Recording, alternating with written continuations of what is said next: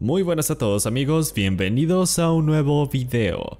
Ok, como ustedes saben, el día de hoy se estrenó la serie de Halo y wow, qué grata sorpresa. Honestamente tenía mis expectativas bastante moderadas para este show, pero qué grata sorpresa nos acaba de entregar Amblin Entertainment, Showtime y 343 Industries aquí en Paramount Plus. Pues bueno, en este video vamos a platicar acerca de lo que vimos en este primer episodio, lo vamos a analizar a detalle y si no has visto el episodio te recomiendo mucho que vayas a verlo y luego regreses a este video ya que, oh sorpresa, habrán spoilers. La verdad vale la pena mucho ver el episodio, yo creo que esta serie pinta bastante bien. Sí es algo diferente a lo que estamos acostumbrados a ver en los juegos, pero la verdad es que creo que tomaron una dirección muy positiva en lo que pudo haber sido una representación de live action de Halo. Así que sin nada más que decir, vamos a comenzar a analizar lo que vimos en este primer episodio que se llama Contacto. Ok, bueno, el episodio empieza en el planeta Madrigal. Es una de las colonias de lo que podría ser el borde exterior del gobierno unificado de la Tierra. Ya se sabe que en el universo de Halo han habido muchos problemas entre los planetas más alejados del centro de la Tierra bueno, más bien del centro del gobierno de la Tierra, que es obviamente la Tierra, y los planetas que, pues bueno, están dentro de la unión del gobierno unificado de la Tierra. Aquí en esta serie se nos muestra que han habido conflictos entre estos planetas alejados y el gobierno de la Tierra, ya que estos planetas quieren independencia. Esto no es un tema muy nuevo referente al universo de Halo, es algo tomado directamente de los videojuegos y del lore de Halo, y creo que es un punto a favor a esta serie ya que han tomado todo el contexto político y social en el universo de Halo y lo han explicado y lo han caracterizado correctamente en esta serie live action. Y sí, es un punto muy importante para la historia ya que de esta manera se justifica la presencia de los Spartans. Vemos aquí una comunidad que parece que solamente extraen estos minerales, específicamente el agua pesada. Y bueno, estos están digamos que en un outpost o en una base de en medio de lo que parece ser un desierto. Y están platicando y están conversando entre ellos de cómo la UNSC los reprime. Y en eso sale la conversación de cómo un Spartan es lo más fuerte que puede haber.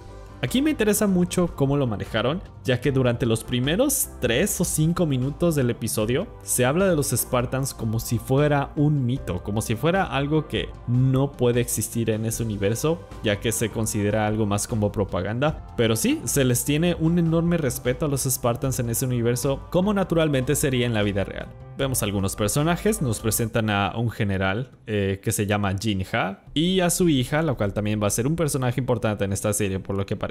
Pues bueno, la hija del general se va como a una caminata con sus amigos, parece que están buscando una planta o algo así. Bueno, el chiste es que solamente están explorando, digamos que los alrededores de la base, donde hay un poco más de árboles. La chica ve un resplandor en el bosque y va a investigar. Entonces se acerca, encuentra el Phantom y regresa corriendo con sus amigos, les dice, hay una nave ahí, hay que irnos de acá. Sus amigos, naturalmente, como buenos adolescentes, buscan la mayor fuente de peligro posible y entonces van a ver la nave.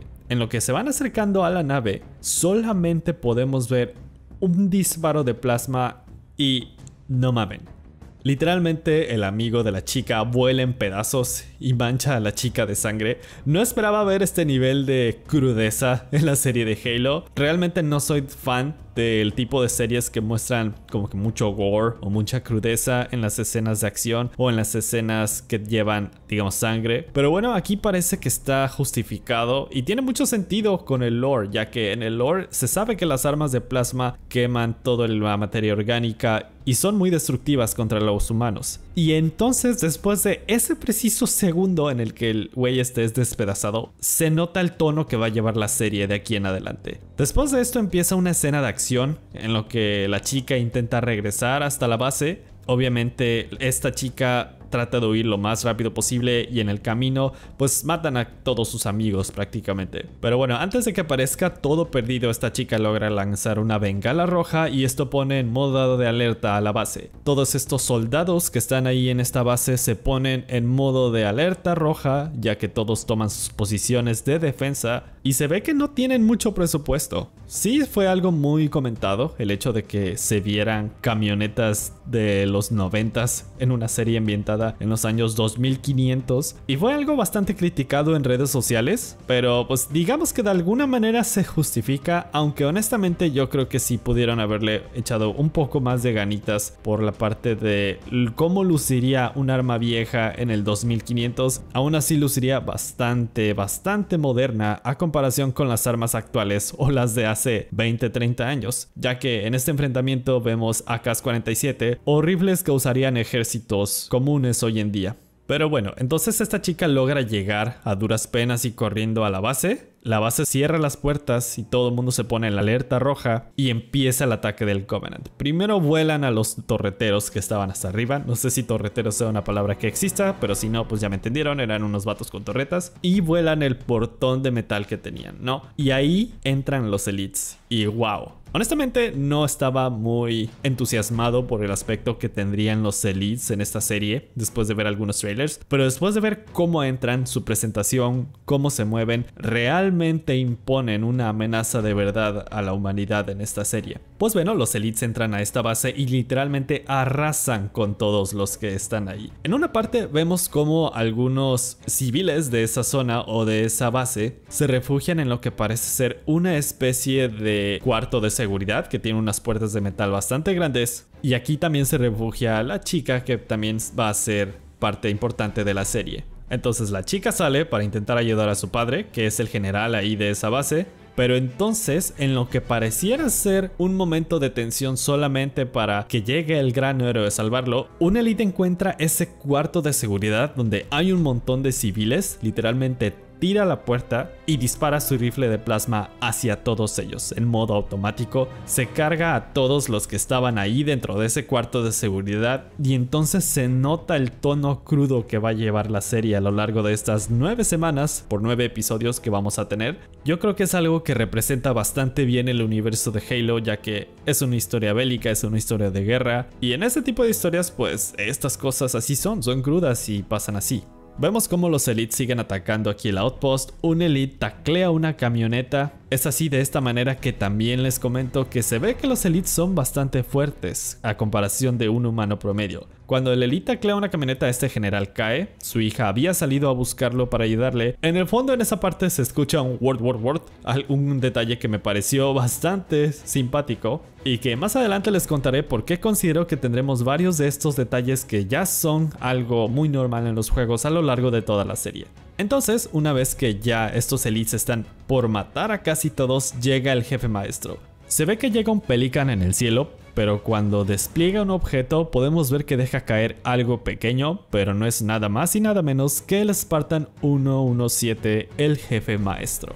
En el momento en el que llega el jefe maestro, deja de ser una masacre por parte de los elites y se convierte en una batalla muy buena de ver. Hay mucha acción, es muy fiel a lo que hemos visto en los juegos. La verdad yo no esperaba algo parecido a, por ejemplo, en los juegos vas disparando y se nota visualmente qué tanto escudo le queda a un enemigo yo creo que iba a ser algo complicado traducir literalmente todos estos enfrentamientos de los juegos a un producto live action, pero aquí lo han hecho bastante bien, honestamente. Incluso hay una parte en el que cuidan ese detalle de los escudos. El jefe maestro le baja un escudo a un elite, se ve como su escudo revienta y lo termina con un disparo en la cabeza. Pero el jefe maestro no está solo en este enfrentamiento, llega su equipo Silver conformado de otros tres Spartan cuyos nombres no recuerdo pero se los voy a dejar aquí y vaya, qué espectáculo nos han dado. El otro Spartan se madrea a un grupo de elites no con un arma, no con una granada, con un tubo de metal. Agarra un tubo de metal que estaba ahí en el suelo y se los empieza a madrear a los tres elites. Les logra bajar el escudo, les logra clavar ese tubo de metal y acaba con ellos sin mayor esfuerzo. Estos otros tres Spartans toman posiciones estratégicas, uno toma la altura ya que este Spartan es sniper y los otros dos se quedan abajo ayudándole al jefe maestro a eliminar a todas las amenazas del Covenant. En una parte específica un elite sigue a la chica, esta chica se logra refugiar en una especie de cabina de control, el elite logra derribar las puertas de esa cabina y ya está a punto de tomarla con la mano y wow, el francotirador le vuela la cabeza al elite. Y así como en un inicio vimos cómo despedazaban al amigo de la chica, vemos cómo la cabeza de Lei queda despedazada en el suelo. No se ve por mucho tiempo, realmente son unos pocos segundos cuando vemos este tipo de detalles, pero se aprecia que hayan hecho esta historia algo más parecido a lo que sería en la realidad y no algo tanto enfocado a lo family friendly. Después de esta parte, tres elites logran acorralar a uno de los Spartans y el jefe encuentra una torreta. El jefe maestro arrasa con estos tres elites usando la torreta de una manera espectacular. Y les digo, este show cuenta con su buena porción de gore y de crudeza, pero tampoco es meter gore porque sí.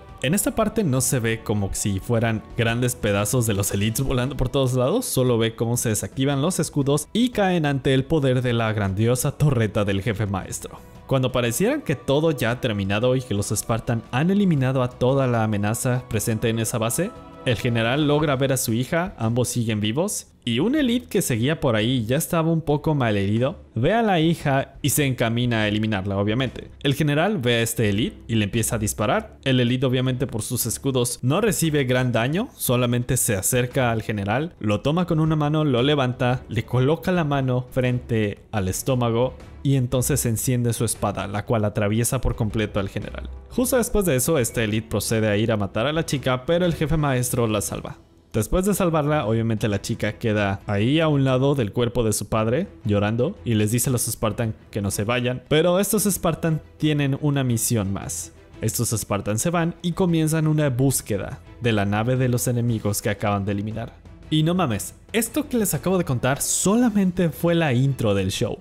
Realmente es algo que sí vale la pena de ver, si esta es solamente la intro de un episodio, ya quiero ver la intro de todos los demás. Pero bueno, es una historia que pinta para largo y que en base a lo que vimos en estos primeros minutos del show, yo creo que va a ser un show que va a ser del gusto de la gran mayoría de la comunidad de Halo, ya que no nos están dando lo mismo, la misma historia sino un twist diferente de lo que ya conocemos, del universo que ya conocemos y de los personajes que queremos. Pero bueno, entonces después de esta intro, los Spartans se adentran en una cueva y una de las Spartan hace un chiste, una referencia al juego original, ya que una de ellas dice, esta cueva no parece ser una formación natural, una referencia clara a la línea de Cortana en el primer Halo. Honestamente en esta parte sí me reí en voz alta porque pues, sí, me, me dio risa la referencia, pero bueno, entonces aquí el jefe activa un dispositivo Forerunner que encuentran en la cueva y entonces empieza a tener unas visiones, ¿no? Mientras esto está ocurriendo dentro de la cueva, un elite estaba por atacar a los Spartan, pero cuando ve que el jefe maestro logra activar el dispositivo Forerunner,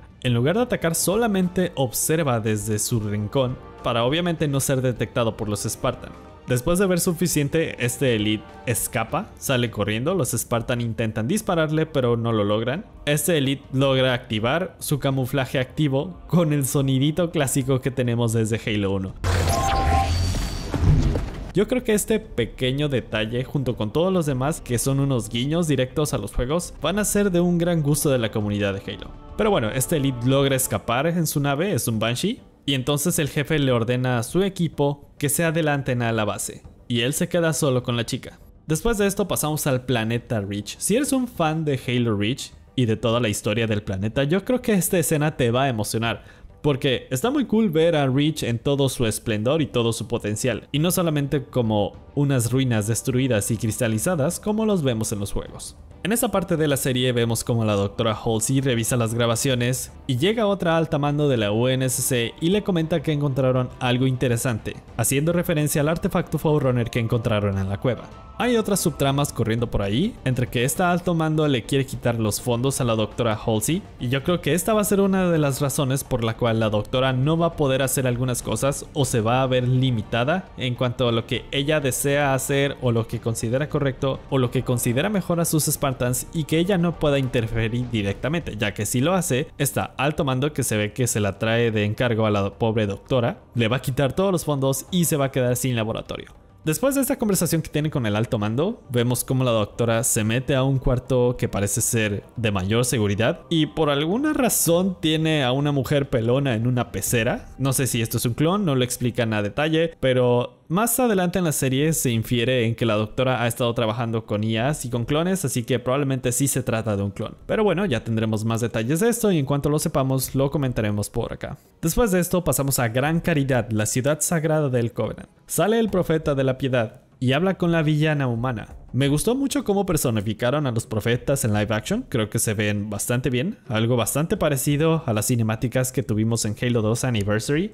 Y la interacción con la villana humana se me hace interesante. Honestamente la parte de la villana humana me hacía un poco de ruido y honestamente me sigue haciendo ruido, ya que el chiste de Halo es que la humanidad entera se una contra un enemigo más fuerte que en este caso en la trilogía original es el Covenant. Aún así, yo creo que esta villana humana nos puede otorgar algunos momentos interesantes y nunca antes vistos en la serie de Halo, viendo cómo un villano humano puede participar en una historia como Halo. Pero bueno, entonces estos dos tienen una conversación, el profeta y la villana humana, cuyo nombre creo que no mencionan, si lo mencionan lo voy a dejar por acá, y hablan acerca de cómo el jefe maestro logró activar el artefacto Forerunner solamente tocándolo tal como ella lo hace. Aquí entonces se infiere que esta humana está aliada con el Covenant, ya que al ser una humana, ella tiene la habilidad de activar todos los artefactos Forerunner que los Covenant buscan. Como les digo, aún me hace un poco de ruido ya que el chiste de Halo es que toda la humanidad se una contra un solo enemigo en común, que en este caso son obviamente los Covenant, como ya mencionamos, pero en la vida real sí podría darse ese sentido, ya que hay muchas personas que van a seguir, no sé, algunos grupos religiosos extremistas a ciegas, aunque sea muy obvio que estos causan un gran daño a la comunidad, ¿no? No estoy hablando de un ejemplo específico, pero mi punto es que algunas personas en la vida real van a seguir cosas a ciegas, aunque esto sea obvio que es algo malo. Y en este caso se ve como la villana humana tiene convicciones para creer en el Covenant. Aún no se nos explica mucho acerca de esta villana, esperemos que tenga más justificaciones respecto a por qué está aliada con el Covenant, pero parece un concepto bastante interesante. Después de esta conversación de los villanos, pasamos a Miranda Keys, que se comunica con la rebelde que rescataron en el planeta Madrigal, la cual va en el Pelican junto al jefe maestro rumbo a Reach. Miranda le pide a este rebelde que suba un video hablando de cómo el Covenant los atacó y cómo los Spartan los salvaron, pero esta rebelde se enoja y se niega a grabar el video e incluso amenaza con decir que los Spartan aniquilaron a toda su colonia, ya que como se sabe, estos rebeldes han estado en guerra contra la UNSC desde hace un tiempo, y lo que ellos quieren es independencia. Luego Halsey habla con el jefe maestro y le pregunta qué es lo que vio en esa visión que tuvo al tocar el artefacto Forerunner. El jefe le cuenta que vio un bosque, una familia y un perro blanco. Halsey se da cuenta que estas no son visiones, sino recuerdos que tiene de alguna manera bloqueados en la mente del jefe maestro, y le pide al jefe hacerse un análisis para ver si hay alguna anomalía en su cuerpo. Y obviamente no le revela al jefe maestro que estas son memorias y no visiones. Después de esto conocemos al Capitán Keys de este universo, habla con su hija Miranda, y Miranda habla acerca de cómo la doctora Halsey, la cual es su madre, pone obstáculos en su carrera. Y en ese momento Keys le revela que se ha ejecutado un artículo 72. Y este significa que deben matar a la chica de Madrigal, ya que esta amenazó con correr rumores acerca de cómo los Spartan habían matado a su gente. Miranda está en contra de esta decisión, el Capitán Keys también está en contra de esto, pero él solo sigue las órdenes. Después de esto pasamos de nuevo al Pelican con el jefe maestro y la chica. El jefe maestro anda de bromista, dice que come tuercas, tornillos y chips. Y entonces se genera una conversación interesante donde la chica le dice al jefe maestro que esa no es la primera vez que se ven, ya que hace varios años el jefe maestro mató a la madre de la chica. Esto fue en una operación que no tenía sentido, porque se supone que era una reunión de los rebeldes, pero el jefe maestro recibió la instrucción de neutralizar a todos los que estaban en esa reunión, ya que había una amenaza de bomba rebelde, lo cual no tiene sentido, porque ¿por qué estos insurreccionistas pondrían una bomba en una reunión insurreccionista? Aquí se da a entender que el jefe maestro también dudó de esta orden, pero en ese momento no hizo nada para detenerlo. Justo en ese preciso momento de la conversación, el jefe maestro recibe la orden de matar a la chica, pero decide no hacerlo y en su lugar apaga las cámaras y los controles de monitoreo de la nave. Al entrar al planeta, la UNSC, al ver que no hay comunicaciones con la nave, deciden activar el piloto automático y bajar los niveles de oxígeno de la nave, de manera en que los dos se desmayen y puedan capturarlos una vez que aterricen. Aún con los niveles de oxígeno bajos, el jefe maestro logra retomar el control de los sistemas atmosféricos de la nave y restaura el oxígeno. Los altos mandos de la UNSC mandan a capturar al jefe y ponen a todo el sistema en alerta máxima desplegando un gran centenar de marines que esperan la llegada del jefe maestro en el Pelican. En este despliegue también estaban participando el equipo plateado de los Spartan, pero Halsey les cambia las órdenes a los Spartan y les dice que protejan al jefe a toda costa. Luego en el Pelican el jefe le explica la situación a la rebelde y se quita el casco. Podemos ver acá que en esta serie no se van a tomar tanto en serio la parte del misticismo del rostro del jefe maestro. Aún no sé precisamente por qué lo están haciendo, No sé si hay alguna especie de prueba que están haciendo. No sé si piensan quitarle el casco al jefe maestro en los juegos. Y están haciendo esta prueba en la serie para ver cómo reacciona la comunidad. Considero que no era necesario, pero tampoco me disgustó tanto ya que como ya se sabe, esta es una línea temporal alterna y no está directamente relacionada con los juegos. Pero bueno, logran desactivar el piloto automático, pero justo antes de poder maniobrar el Pelican, la UNSC desactiva la nave y el Pelican cae en el hangar. Al caer en el hangar, el artefacto se sale de su estuche donde estaba guardado y queda flotando en una perfecta posición horizontal con el suelo, a pesar de que el Pelican está inclinado. El jefe maestro toca de nuevo el artefacto y crea una onda de pulso electromagnético, y este pulso desactiva todo alrededor y solamente le proporciona energía al Pelican. Y entonces el jefe y la chica logran escapar en ese Pelican y se van al espacio. Y aquí termina el primer episodio. Pues bueno, después de ver este primer episodio, se nos pinta un show bastante bueno. Empezó bastante bien, de ahí la historia se empezó a desarrollar y el nivel de acción bajó un poco, pero creo que también es algo positivo ya que también necesitamos explorar toda la historia que está pasando dentro de ese universo. Y en Halo siempre ha sido muy importante el factor de la historia y del universo y de todo lo que pasa no solamente en la parte de la acción, sino en la parte de las explicaciones, en la parte de los motivos y sobre todo en la parte de los personajes.